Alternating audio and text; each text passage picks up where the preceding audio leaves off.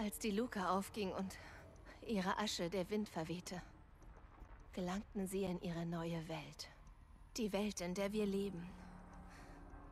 Sie. Sie ist ein Monument dessen, was sie erreichen wollten. Ein Monument des Vergessens. Nicht des Vergessens, Silence. Der Hoffnung. Wäre es ein Monument des Vergessens, dann wäre jetzt keiner mehr da.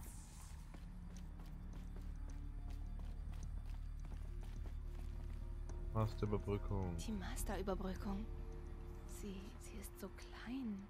Jetzt musst du damit nur noch Hades vernichten. Wie sie dran drückt.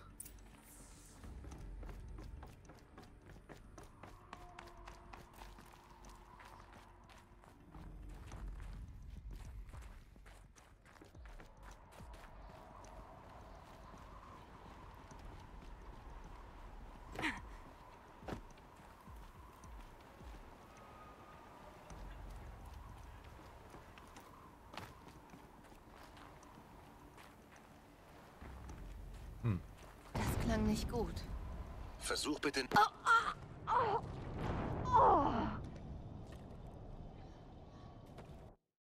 Äh, well. Ich dachte, die hängt sich jetzt an das Seil hin. What the fuck?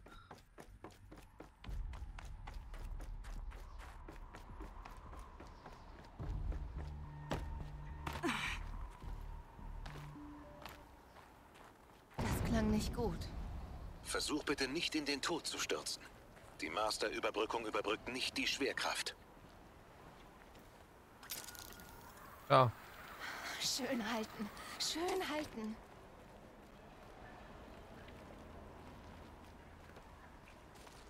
hätte er mir früher sagen sollen mit dem, äh, nicht in den Tod stürzen.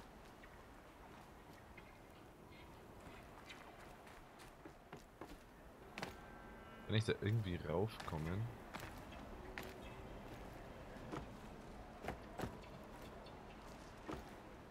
Ja, aber nicht so, wie ich möchte.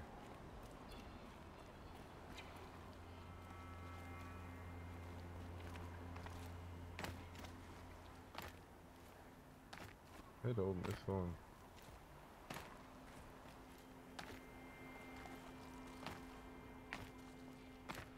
oben ist so ein Sprungding, sie... Häng dich da mal hin.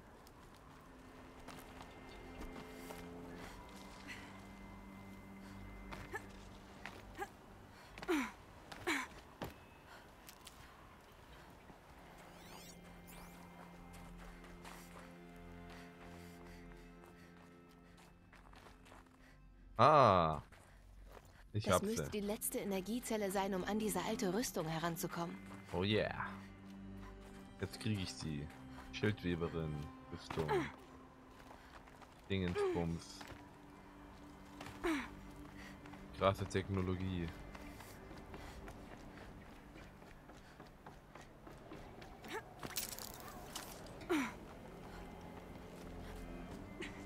Wenn ich darunter gefallen wäre, dann würde ich jetzt einfach in den endlosen Abgrund stürzen, weil ich es nicht geschafft hätte, dieses Ding zu, äh, in diese Stange zu greifen.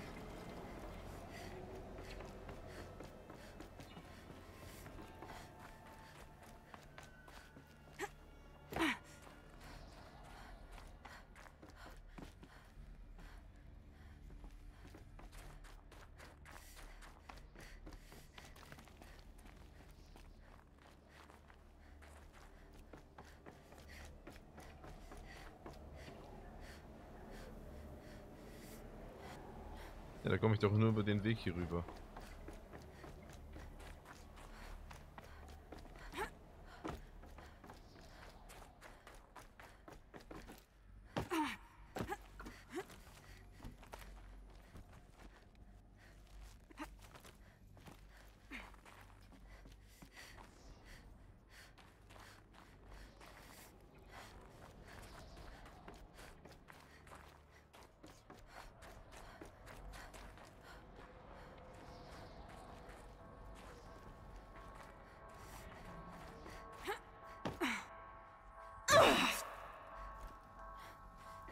Oh, well, nice.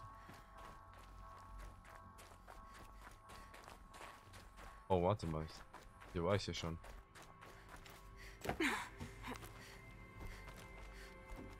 Komme ich da doch nicht drüber, oder?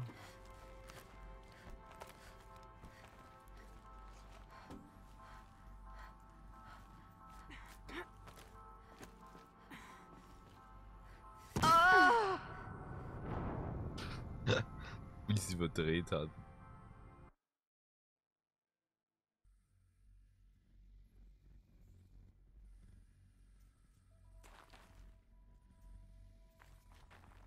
Ah. Hier, wo ich die Energiezelle geholt habe, finde ich gut.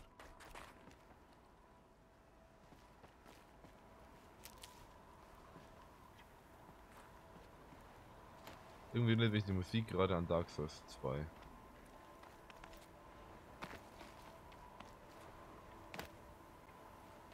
An Majula.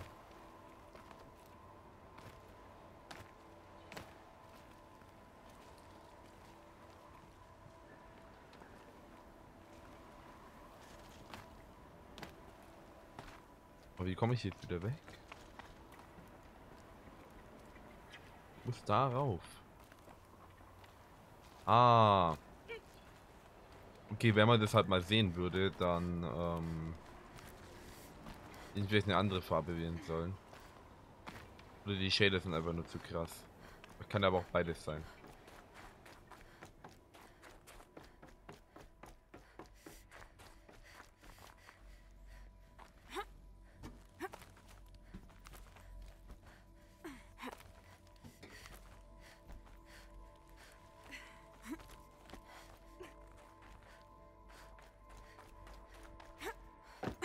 Du bist hier. Nur ganz kurz. Was? Unser gemeinsamer Weg ist zu Ende, Aloy. Doch bevor ich gehe, sollst du noch den Rest der Geschichte erfahren. Nur zu. Ich habe dir ja bereits erzählt, dass ich mit der Eklipse zu tun hatte. Aber ich habe dir nie das ganze Ausmaß meiner Schuld gestanden. Gleich kommt. Es ist so. Ich war von Anfang an dabei. Ich fand Hades, Aloy, auf dem Berg begraben, in dem zerschmetterten Titanen. Und ich diente ihm. Was? Er versprach Wissen und gab es mir. Solches Wissen, unvorstellbar. Und im Austausch? Ich erschuf die Eklipse. Ich erschuf den Kult. Eine Armee nur für ihn. Warum erzählst du mir das jetzt? Weil dein Erfolg von diesem Wissen abhängt. Als ich Hades fand, war das erste, wozu er mir Fragen stellte, der Turm. Nicht Meridian. Der Turm. Warum gerade Der danach? Turm. Der Turm wurde von Gaia erbaut. Von welchem Teil Gaias? M Minerva. Ihr Codebrechermodul. Gaia baute Türme, um die Codes zu übertragen, die die Pharaoh-Maschinen abschalteten. Ihre Biomasse-Umwandlungssysteme stoppten. Hades möchte etwas Neues senden. Die Maschinen erwecken, damit sie die Welt noch einmal verschlingen. Ja. Nach dem, was wir wissen, komme ich auch zu diesem Schluss. Und die Eklipse. Die erweckten Roboter. Sie sind nur ein Mittel zum Zweck. Eine Armee, die den Turm erobert. Ja. Damit Hades wieder alles Leben auslöschen kann. Wenn du ihn nicht stoppst.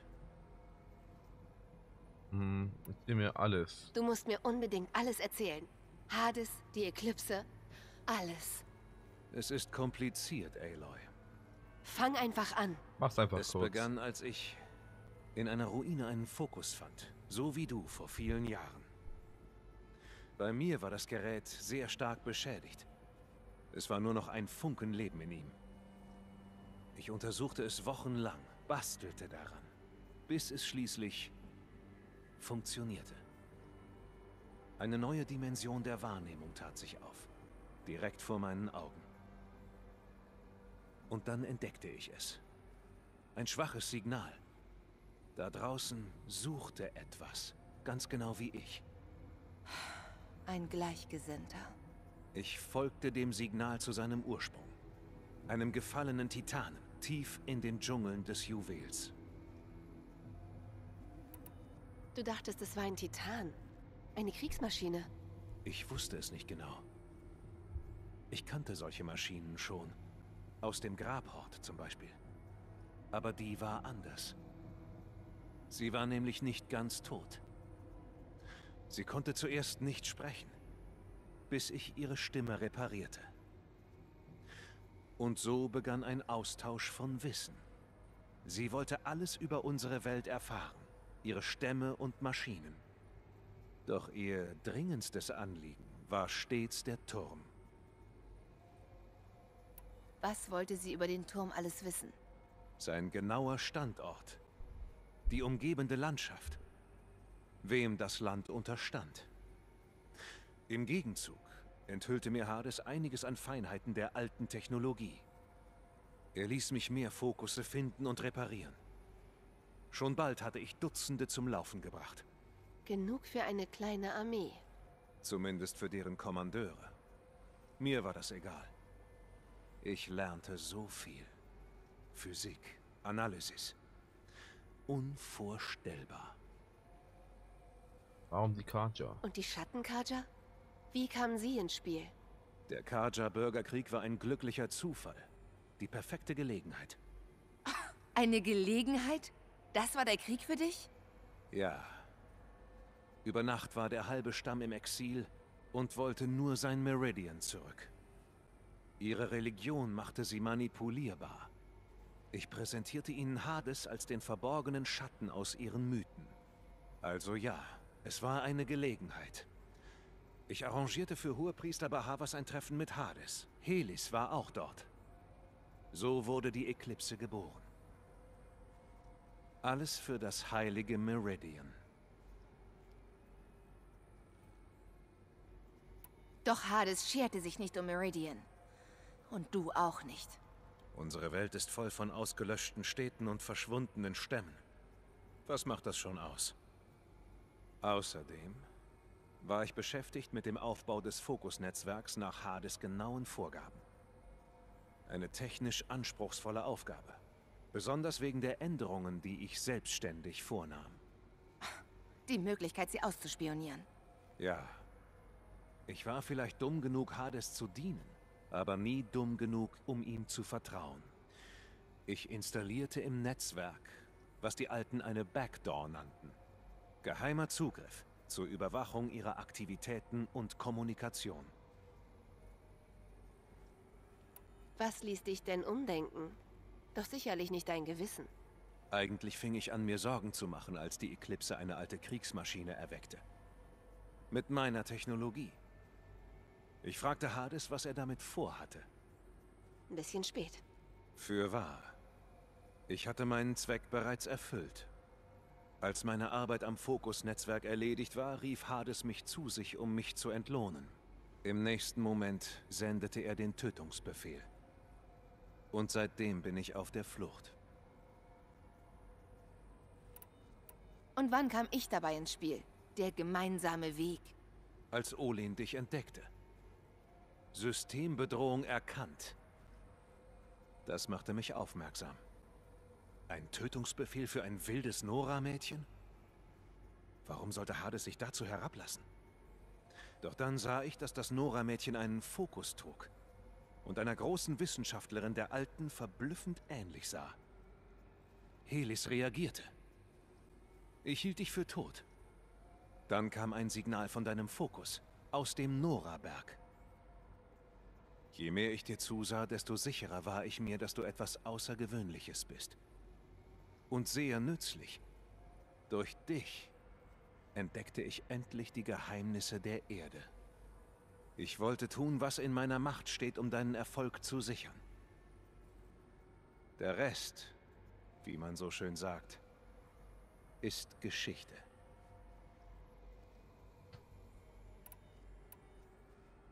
Hm, du wirklich alles für Wissen?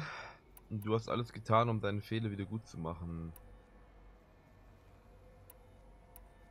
Du hast viel Schlimmes getan, Silence.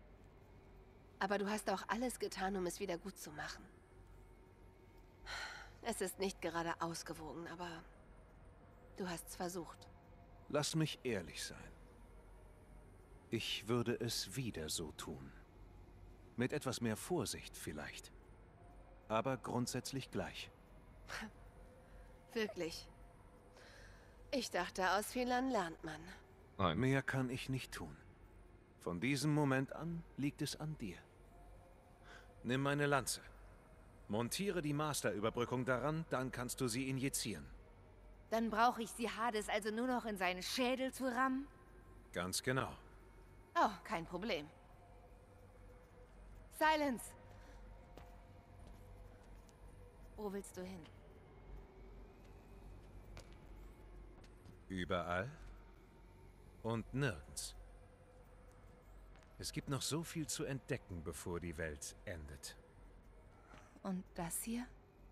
Überlasse ich dir natürlich. Wir wissen ja, du bist dazu bestimmt. Ich bin nur so hineingestolpert.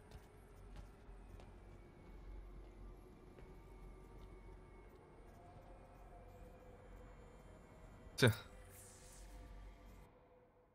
Muss ich aber kurz. So, jetzt habe ich die. Äh, ja. Jetzt habe ich die Quelle ausgewählt, damit ich Screenshots machen kann.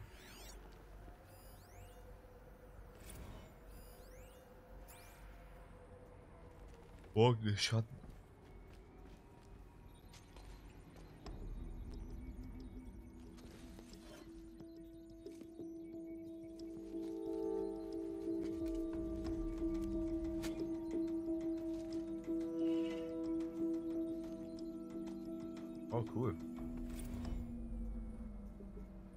Eine starke Waffe entdeckt. Aufgabe. Abgeschlossen.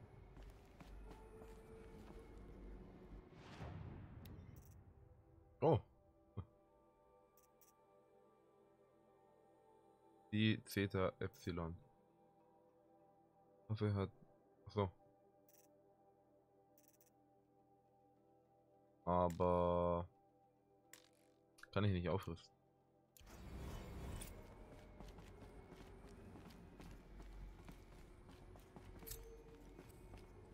Der drohende Schatten. Ich glaube, das ist die letzte Mission, kann das Ich sein? muss Avat erzählen, dass die Eklipse bald angreifen wird.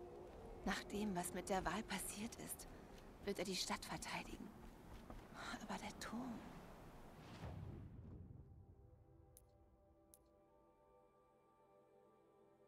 Kann ich hier. Ah, okay, ich muss da raus. Komme ich denn hier weg?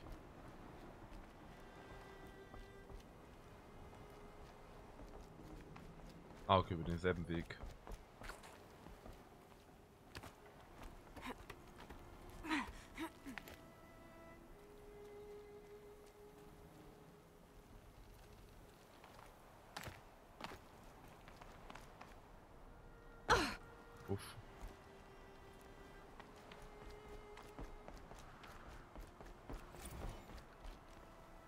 Ach so, Tagebuch.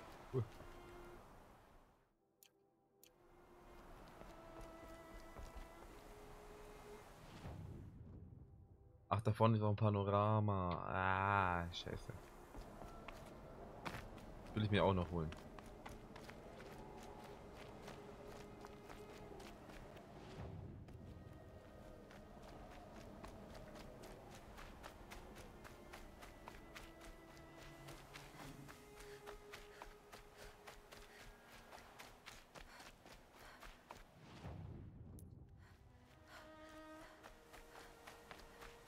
Ich hoffe mal, dass hier keine Maschinen mehr sind. Ich habe jetzt keinen Bock zu kämpfen.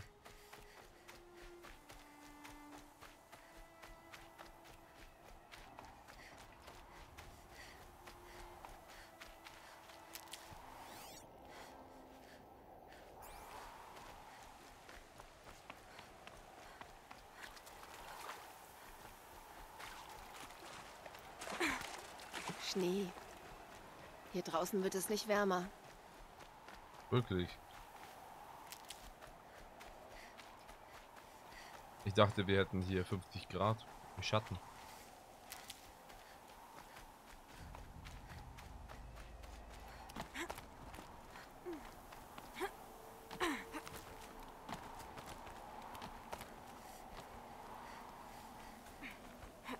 Natürlich muss ich mich da erstmal komplett außen rumhangeln da irgendwie hinzukommen.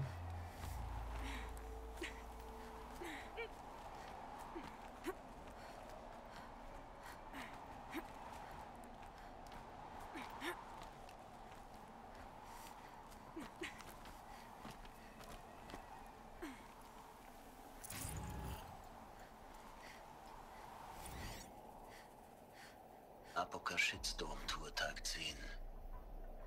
Hier habe ich herausgefunden, wie die Welt untergeht.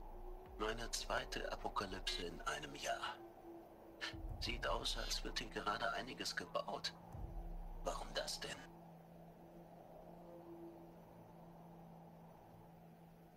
Ah ja, da haben sie den Bunker gebaut.